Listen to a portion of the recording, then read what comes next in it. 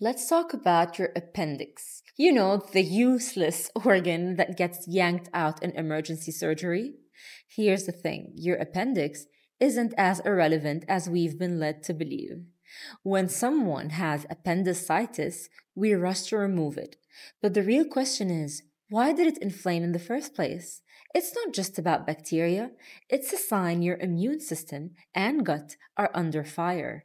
The appendix plays a key role in regulating your microbiome, and when it gets inflamed, it's usually a reflection of larger systemic imbalances, whether it's chronic stress, gut dysbiosis, or overload of toxins. You don't just want to fix the appendix by removing it, you want to address the root causes. Is your gut leaky? Is your immune system overstressed? Are you detoxing properly? So, next time someone tells you appendicitis is just an accident, remember, it's not just about the appendix. It's a wake up call to check your body's deeper balance, especially your immune health and gut integrity.